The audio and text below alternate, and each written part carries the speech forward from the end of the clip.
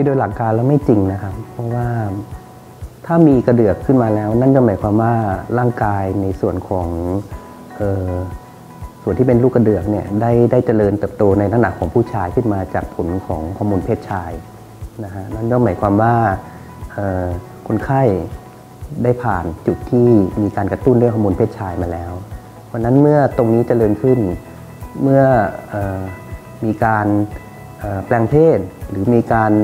กินฮอร์โมนเพื่อกดหรือลดฮอร์โมนเพศชาย ก็จะไม่มีผลทำให้ตรงส่วนที่เจริญขึ้นแล้วลดลงนะครับ เพราะนั้นก็มีความจำเป็นจะต้องทำการเเรียกว่าเหลาหรือว่าจะใช้คำว่าเจียกระเดือกออกก็ได้ ซึ่งมันก็จะมีเทคนิคซึ่งแตกต่างกันนะฮะแต่โดยรวมๆก็ถือว่าเป็นผ่าตัดไม่ใหญ่นะครับ โดยส่วนตัวที่ผมทำก็การเหลากระเดือกก็จะใช้แผลเล็ก นะฮะประมาณไม่เกิน1ถึง1.5เซนติเมตรเล็กนิดเดียวนะฮะแล้วก็ซ่อนอยู่เหนือของลูกกระเดือกนะครับเน้นแผลเล็ก แต่ว่าสามารถทำให้เรียบได้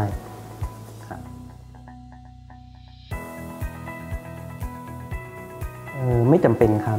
คือลำดับในการแปลงเพศนี้อาจจะก่อน หรือหลังศัลยกรรมอื่นก็ได้ อันนี้เราพูดถึงศัลยกรรมซึ่งมีผลหรือว่ามันเป็นศัลยกรรมที่บ่งบอกอ ความเป็นเพศของเช่น สมมุติว่าจากชายเป็นหญิงนะฮะมันก็จะมีอยู่หลายจุดในสรีระของร่างกายคนเราที่บ่งบอกถึงเพศชาย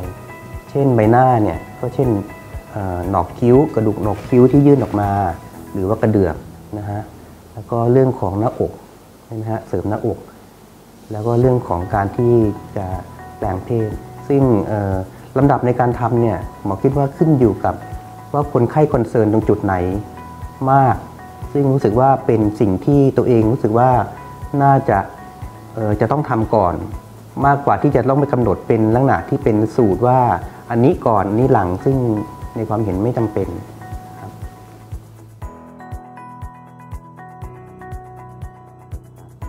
หมอแนะนำว่าควรจะตั้งแต่ 20 ปีขึ้นไปเหตุผลเพราะว่าถ้าน้อยกว่านี้เนี่ยจริงๆก็อาจจะเกิด ลักษณะที่คนไข้ยังไม่รู้ตัวตน หรือว่าความแน่นอนว่าเอ่อลักษณะที่เรียกว่ามีเพศที่ผิดกับภาวะจิตใจเราหรือเปล่านะฮะหรืออาจจะเป็นประเด็นที่นึกว่ารู้แต่ว่าอาจจะไม่สามารถที่จะอธิบายให้ครอบครัว หรือแม้แต่การที่จะไปสัมภาษณ์จิตแพทย์เนี่ยให้เข้าใจลึกซึ้งว่าจริงๆ เราใช่หรือไม่ใช่ นะฮะเพราะนั้นถ้าเกิดว่าอายุ 20 ปีขึ้นไปเนี่ยอย่างน้อยก็มี maturation หรือมีวุฒิภาวะ ในการที่จะหนึ่งไต่ตอง ในเรื่องของความคิดตัวเอง ว่าเรามีความแน่นอน มีเอ่อความมุ่งมั่นว่าจริงๆเนี่ยเราผิดเพศแน่ ๆ แล้วเราต้องการแปลงเพศแน่ๆนะครับแล้วก็สามารถที่จะไปปรึกษากับทางครอบครัว แล้วก็ไปปรึกษากับทางออ ผู้ชำนาญทางด้านจิตเภทเพื่อกันกรอง เพื่อเป็นขั้นตอนก่อนการแปลงเพศนะครับ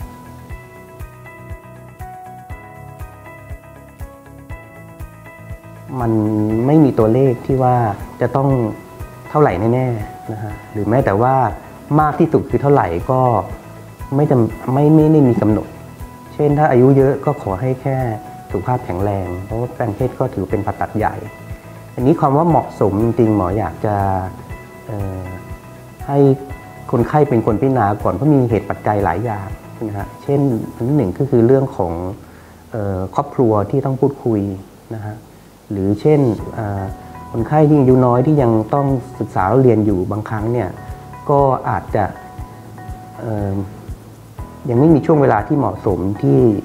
จะต้องทำเพราะว่าต้องพักเรียนโดยไม่จำเป็นเป็นต้นนะฮะประเด็นหนึ่งที่สำคัญก็คือเรื่องของความรับผิดชอบ ที่จะต้องมีการที่เขาเรียกว่าโมหรือการ dilation หลังผ่าตัดเนี่ยเพื่อเป็นการรักษาความลึกของช่องคลอด อันนี้ถือเป็นลักษณะพิเศษของผ่าตัดชนิดนี้ซึ่งคนไข้จะต้องมีความรับผิดชอบพูดง่ายมีส่วนร่วมระหว่างหมอคนไข้ในการทำให้ผลการผ่าตัดออกมา เป็นที่น่าพอใจ เพราะฉะนั้นถ้าเกิดว่าคนไข้ไม่เข้าใจความรับผิดชอบตรงนี้นะฮะโดยที่อาจจะเช่น ไม่พร้อมหรือว่าอายุยังน้อยไป ไม่เข้าใจเหตุและผลที่จะต้องทำเนี่ยแล้วไม่ทำ dilation ในให้เหมาะสมตามคำแนะนำเนี่ยก็จะตามมาได้ผลที่ที่ไม่ไม่น่าพึงพอใจก็คือว่าช่องคลอดก็อาจจะเออเริ่มที่จะเออแคบลงหรือว่าหดเล็กลงนะครับ เพราะนั้นเนี่ยคำตอบคือควรจะทำเมื่อมีความพร้อมในทุกๆอย่างนะครับ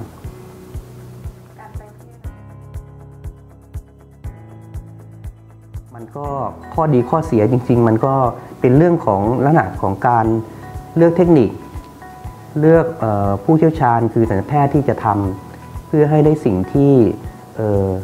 คิดว่าตัวเองพึงพอใจนะฮะอันนี้เป็นเรื่องของการที่จะต้องศึกษาแล้วก็ลองลองเซิร์ชดู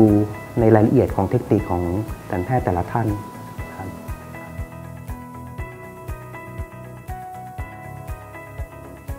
โดยภาพ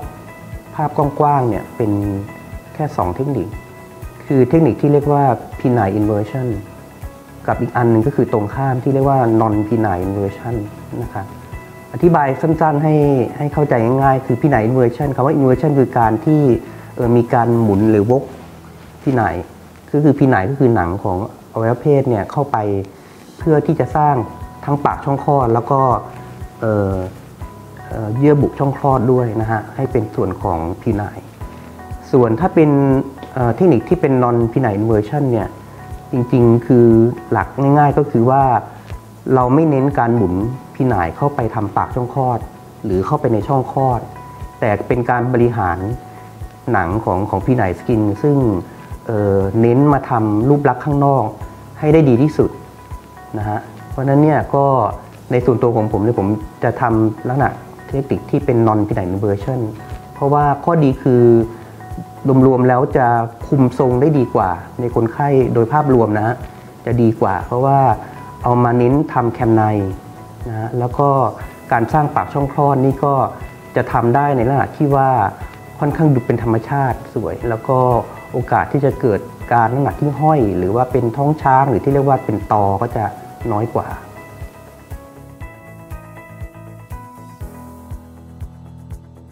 อตอคือจริงๆเป็นส่วนของเรียกว่าเป็นเนื้อที่อยู่รอบท่อปัสสาวะ ในศิละของผู้ชายนะครับ ท่อปัสสาวะของผู้ชายเนี่ยจะมีเนื้อที่เป็นลักษณะเป็นฟองน้ำที่เรียกว่า spongy tissue เนี่ยหุ้มอยู่รอบท่อปัสสาวะอันนี้ในกรณีของการแปลงเพศเนี่ยโดยหลักการแล้วเนี่ยเราต้องเอาเนื้อเยื่อตรงนี้ออกให้หมด เนื่องจากเป็นเป็นเนื้อเยื่อที่เป็นศิละของผู้ชาย นั่นก็คือมันเกิดการพองตัวได้ นะฮะหรือเป็นลักษณะเป็นก้อนได้ ถ้าเอาออกได้ไม่ดีเนี่ยก็จะเป็นลักษณะเป็นก้อนที่ห้อยอยู่ใต้ท่อปัสสาวะที่ที่เรียกว่าตอนะฮะหรือว่าถ้าเป็นภาษาแพทย์ก็คือมีการเหลือของตัวสปองกี้ทิชชูเรียกว่า remnant corpus spongiosum เนี่ยเหลืออยู่ เพราะนั้นมันก็จะกลายเป็นสิ่งที่ดูเป็นก้อน แล้วถ้าเกิดว่ายิ่งเกิดการมีทาง ตื่นเต้นทางทางอารมณ์ทางเพศมีมีขึ้นมาเนี่ยเลือดไปเลี้ยงมากขึ้น เนื้อเยื่อตรงนี้ก็จะมีลักษณะพองตัวขึ้นไปอีก ก็จะไม่เป็นก้อนมากขึ้นนะฮะเพราะนั้นจริงๆก็เป็นเรื่องที่โดยทางเทคนิคแล้วเนี่ยจะต้องเน้นในการที่จะต้องเอาเนื้อเยื่อตรงนี้ออกให้หมด เพราะโดยหลักการคือบริเวณปากช่องคลอดที่อยู่ใต้ท่อปัสสาวะเนี่ยจะต้องเรียบเหมือนของผู้หญิงคือเนียนเลยก็คืออ ไม่มีเป็นก้อนห้อยลงมาให้เห็นนะครับ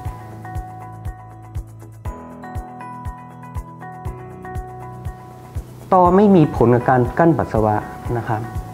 ว่าเพราะนั้นจริงๆ เพราะมันเป็นอย่างที่อธิบายคือเป็นเป็นเนื้อเยื่อที่อยู่รอบท่อปัสสาวะ ในสรีระของผู้ชาย แต่โดยภาพรวมเนี่ยคือเอ่อการเทคนิคที่ทำแล้วยังเหลือตออยู่เนี่ยมักจะมีปัญหาคู่กันไปก็คือว่า ตำแหน่งของท่อปัสสาวะก็จะดูสูงกว่าปกติ สูงกว่าของผู้หญิง มันก็เลยทำให้เวลาปัสสาวะแล้วทิศทางของปัสสาวะนี่ก็ยังเป็นลักษณะ